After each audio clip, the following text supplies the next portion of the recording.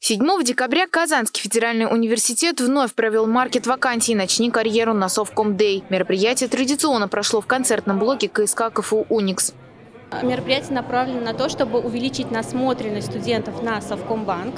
То есть сегодня мероприятие такого профессионально-ориентационного характера. Сегодня студенты увидят, что такое Совкомбанк, какие направления работы в нем имеются. И затем, а, после мероприятия, уже студенты узнают о всех вакансиях, которые есть на данный момент в Совкомбанке и смогут на них откликнуться.